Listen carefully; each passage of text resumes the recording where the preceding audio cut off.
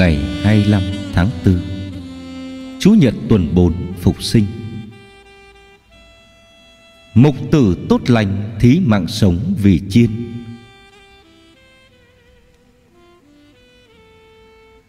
Tin mừng Chúa Giêsu Kitô theo Thánh Gioan. Khi ấy, Chúa Giêsu phán: Ta là mục tử tốt lành, mục tử tốt lành thí mạng sống vì chiên. Kẻ làm thuê không phải là chủ chiên và các chiên không phải là của người ấy. Nên khi thấy sói đến, nó bỏ chiên mà trốn. Sói sẽ bắt chiên và làm chúng tản mát. Kẻ chăn thuê chạy trốn Vì là đứa chăn thuê Và chẳng tha thiết gì đến đàn chiên. Ta là mục tử tốt lành Ta biết các chiên ta và các chiên ta biết ta, Cũng như cha biết ta, Và ta biết cha, Và ta thí mạng sống vì đàn chiên. Ta còn những chiên khác không thuộc đàn này. Cả những chiên đó Ta cũng phải mang về đàn. Chúng sẽ nghe tiếng ta, Và sẽ chỉ có một đàn chiên Và một chủ chiên. Vì lẽ này mà cha yêu mến ta. Là ta thí mạng sống Để rồi lấy lại. Không ai cất mạng sống khỏi ta, Nhưng tự ta Ta thí mạng sống. Ta có quyền thí mạng sống Và cũng có quyền lấy lại. Đó là mệnh lệnh ta đã nhận nơi cha ta. Đó là lời Chúa.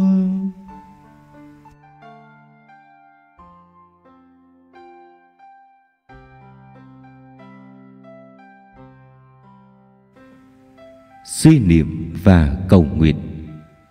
Tin Chúa Giêsu mục tử tốt lành. Mục tử tốt lành thí mạng sống vì chiên. Chúa Giêsu tha thiết tỏ bày lòng thương xót của Thiên Chúa đối với con người. Người tự nhận là mục tử tốt lành, mục tử biết đoàn chiên, biết từng con chiên. Mục tử yêu thương chăm sóc cho đoàn chiên và thí mạng sống mình vì chiên người ý thức và xác nhận, người đang chăn chiên của chính người, không phải là kẻ chăn thuê chăn chiên của ai khác vì thế, người muốn chúng ta tin tưởng tuyệt đối vào người, đặt cả cuộc đời mình trong tay người, như con chiên hiền lành đơn sơ trong lòng yêu thương của mục tử nhân lành.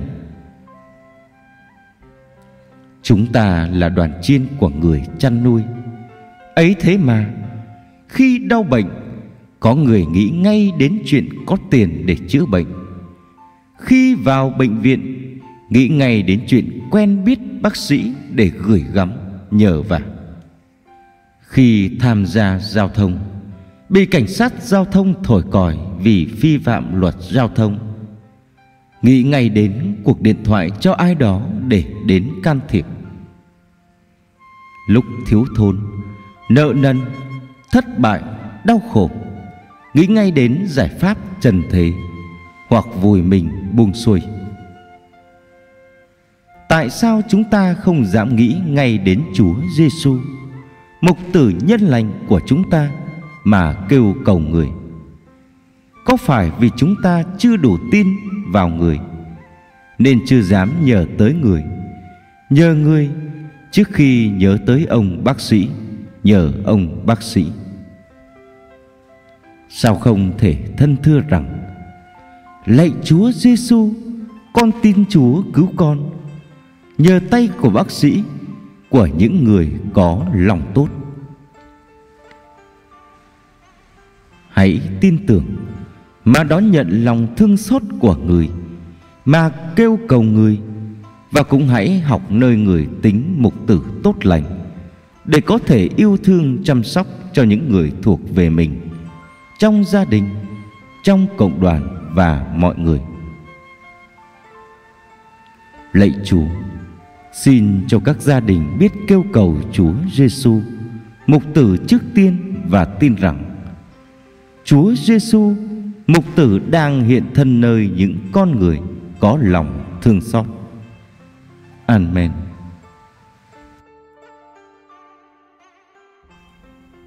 Lạy Chúa, giữ cuộc sống xã hội vô thần và duy vật. Chúng con nguyện xin Chúa cho các gia đình trẻ luôn nhớ thân phận người và cuộc sống trần gian là mong manh, chóng vánh để luôn hướng lòng đến những thực tại siêu nhiên, hướng lòng đến cùng đích là sự phục sinh với Chúa Giêsu và sum họp gia đình trong nước Chúa. Amen.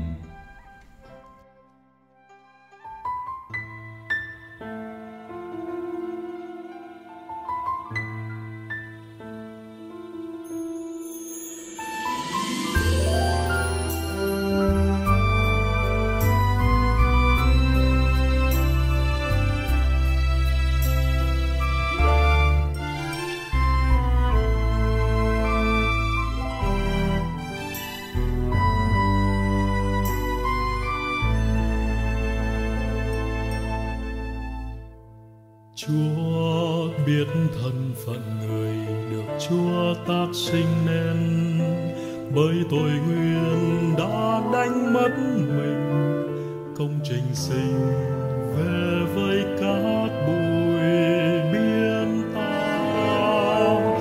Chúa biết thân phận người, Chúa xót thân phận người và Chúa cứu thân phận người khỏi chết muôn đời nhưng được sống và được sống lại trong Đức Kitô. Chúa, Chúa xót thương, Chúa cứu con khỏi chết muôn đời. Xin Chúa khoan dung, Chúa thứ tha đời con vẫn vương tội. Lạy Chúa, Chúa xót thương, Chúa dẫn con vào cuộc sống mới. Xin Chúa giữ con, luôn luôn tin yêu vào lời Chúa Kitô. Chúa biết thân phận người tựa bóng nắng liêu xiêu, như bụi tro bay trong gió chiều.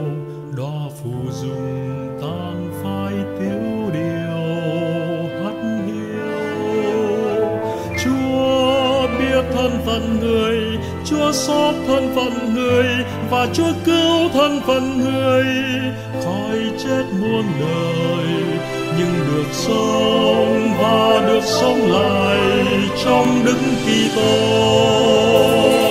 Chúa, Chúa xót thương, Chúa cứu con khỏi chết muôn đời. Xin Chúa khoan dung, Chúa thứ tha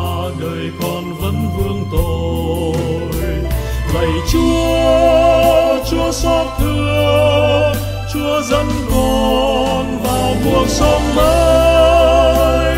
Xin Chúa giữ con luôn luôn tin yêu vào lời Chúa Kitô.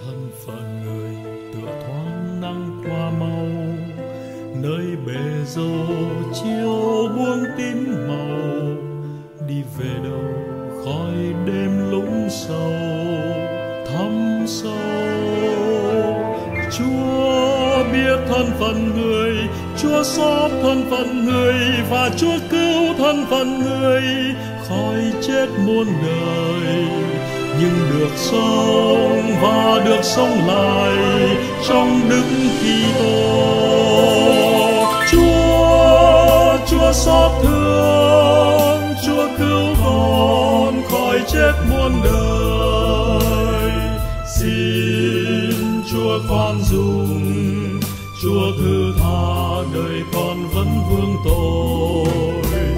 Lạy Chúa, Chúa xót thương, Chúa dẫn con vào cuộc sống mới. Xin Chúa giữ con luôn luôn tin yêu vào lời Chúa Kitô. Chúa, Chúa xót thương, Chúa cứu con khỏi chết muôn đời. Chúa khoan dung, Chúa thứ tha đời con vẫn vương tội.